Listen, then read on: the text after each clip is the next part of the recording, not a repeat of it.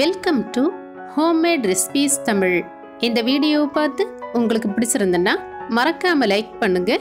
நம்ம சேனலை first time பார்க்கக்கூடியவங்க கண்டிப்பாக சப்ஸ்கிரைப் பண்ணுங்க. உங்களை மாதிரியே எனக்கும் கிரைண்டரில் மாவு அரைக்கிறதுக்கு மடி வந்தாச்சு. அப்போ மிக்சியில் மாவு அரைக்கிறதுக்கு ஒரு ஈஸியான மெத்தடை கண்டுபிடிக்கலாம்னு நான் கண்டுபிடிச்ச ஒரு மெத்தட் தான் உங்கள் கூட இன்றைக்கி ஷேர் பண்ண போகிறேன் இது வரைக்கும் யாருமே உங்களுக்கு சொல்லித் தராத ஒரு புதுவிதமான ஐடியா தான் இன்றைக்கி நான் உங்களுக்கு சொல்லித்தர போகிறேன் இதே மெத்தடில் நீங்கள் இட்லிக்கு மாவு அரைச்சிங்கன்னா பர்ஃபெக்டான ஒரு இட்லி மாவு உங்களால் ரெடி பண்ண முடியும். பஞ்சு போல இட்லியும் சூப்பராக வேக வச்சு எடுக்க முடியும். அப்போ இந்த வீடியோ உங்களுக்கான வீடியோனா வீடியோவை ஸ்கிப் பண்ணாமல் கம்ப்ளீட்டாக பாருங்கள் இன்றைக்கி இந்த இட்லி மாவு ரெடி பண்ணுறதுக்கு நான் எடுத்துருக்கக்கூடிய அரிசி வந்து ரேஷன் கடை புழுங்கல் அரிசி தான். நீங்கள் எந்த புழுங்கல் அரிசி வேணாலும் யூஸ் பண்ணலாம். இட்லி அரிசி யூஸ் பண்ணலாம். ஒன்றும் பிரச்சனை கிடையாது. இந்த ரேஷன் புழுங்கல் அரிசி பார்க்கும்போது லைட்டாக ஒரு பழுப்பு நிறத்தில் இருக்கும். இருந்தாலும் கூட நம்ம இன்னைக்கு ரெடி பண்ண போகிற இந்த இட்லி வந்து வெள்ளை வெளையர்னு இருக்க போகுது. இப்போ இந்த ரேஷன் அரிசியில் நான் மூணு கப் அளவுக்கு அரிசி எடுத்து இந்த பவுலில் சேர்த்தாச்சு. அடுத்ததாக இது கூட ஒரு கப் அளவுக்கு பச்சரிசி சேர்க்கலாம். இந்த பச்சரிசி கூட நீங்கள் ரேஷன் பச்சரிசி யூஸ் பண்ணலாம். ஒன்றும் பிரச்சனை கிடையாது. அடுத்ததாக இது கூட ஒரு கப் அளவுக்கு உளுந்து சேர்க்கலாம். எல்லாத்தையும் நான் ஒரே பாத்திரத்தில் மொத்தமாக தான் எடுத்து வச்சுருக்கேன். உளுந்தை தனியாக எடுத்து ஊற வைக்க போகிறது கிடையாது. இனி இந்த உளுந்து அரிசி எல்லாத்தையும் ஒன்றா மிக்ஸ் பண்ணி நல்லா சுத்தமாக கழுவி எடுக்கலாம். இந்த அரிசியும் உளுந்தையும் நம்ம கழுவி மட்டும்தான் எடுக்க போகிறோமே தவிர பச்சை தண்ணியில் ஊற வைக்க போகிறது கிடையாது. அப்படின்னா நம்ம இந்த அரிசியும் உளுந்தை எப்படி ஊற வைக்க போகிறோம்னு பார்த்தீங்கன்னா தண்ணியை நல்லா கொதிக்கக்கூடிய அளவுக்கு இதே போல் காய்ச்சி எடுத்து இந்த கொதிக்கிற தண்ணியில் தான் இந்த அரிசியும் உளுந்தையும் நம்ம ஊற வைக்க போகிறோம் எப்படி? நான் சொன்னது மாதிரி இது ஒரு புதிய மெத்தட் தானா? சூப்பரான ஒரு மெத்தட் கண்டிப்பாக இதே போல் செய்து பாருங்கள் இனி இந்த கொதிக்கக்கூடிய தண்ணி வந்து எப்போ பச்சை தண்ணி ஆகுதோ அது வரைக்கும் இந்த அரிசி அப்படியே இருந்து ஊறட்டும். இந்த பாத்திரத்தை மூடி போட்டு அப்படியே ஒரு பக்கம் வைக்கலாம்.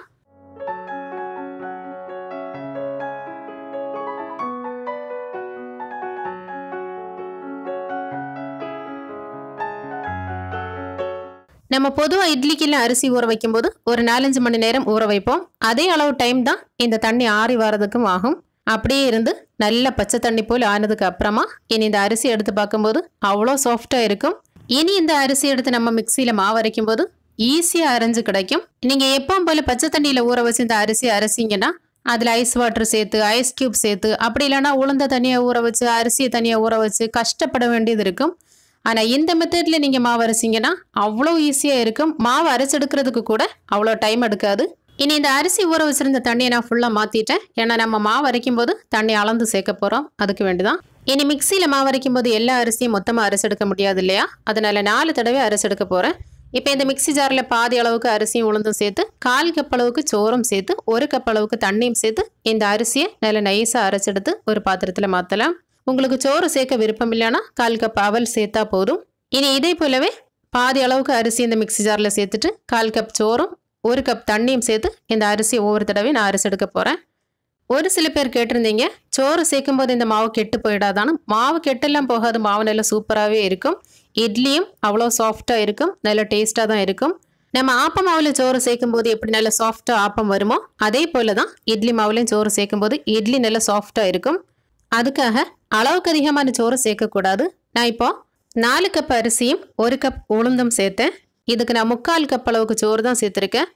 இப்போ லாஸ்ட்டாக நான் இப்போ வந்து இந்த அரிசி அரைக்கும் போது இது கூட சோறு சேர்க்காம அரை கப் தண்ணி மட்டும் சேர்த்து தான் அரைச்சி எடுக்க போகிறேன் மூணு தடவை நம்ம அரைக்கும் போது கால் கப் சோறு வச்சு சேர்த்தோம். மொத்தமாக முக்கால் கப் சோறு தான் சேர்த்துருக்கோம். இனி மிச்சம் இருக்கக்கூடிய இந்த அரை கப் தண்ணியை மிக்சி ஜாரில் ஊற்றி கழுவி இது கூட சேர்க்கலாம். மொத்தமாக நாலு கப் அளவுக்கு தண்ணி சேர்த்துருக்கேன். மூணு கப் புழுங்கல் அரிசி ஒரு கப் பச்சரிசி ஒரு கப் உளுந்துக்கு நாலு கப் தண்ணி சேர்த்து முக்கால் கப் சோறும் சேர்த்து இந்த மாவை நம்ம அரைச்சி எடுத்திருக்கோம். இனி இந்த மாவு கூட தேவையான அளவுக்கு உப்பும் சேர்த்து இந்த மாவு நல்லா கலந்து அப்படியே மூடி வைக்கலாம். அடுத்த நாள் காலையில் இந்த மாவு எப்படி இருக்குன்னு எடுத்து பார்ப்போம்.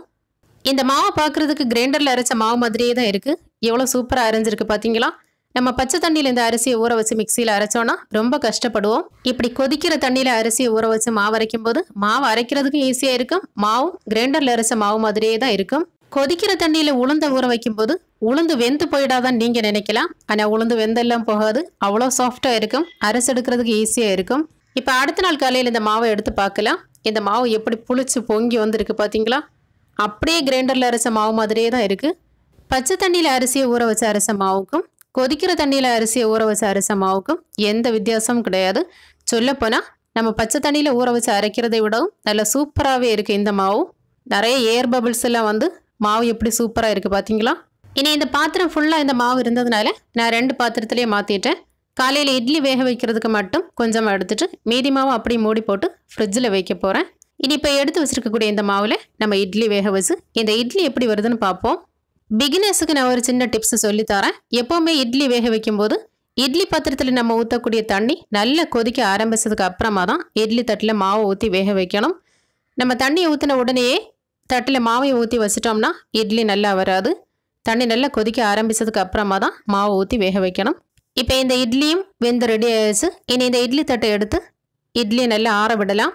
இட்லி தட்டை வெளியே எடுத்து வச்சுட்டு கொஞ்சமாக பச்சை தண்ணி தெளிச்சு விட்டு அப்படியே ஆற வச்சிட்டோம்னா இந்த இட்லியை நம்ம தட்டில் இருந்து எடுக்கிறதுக்கு ஈஸியாக இருக்கும்.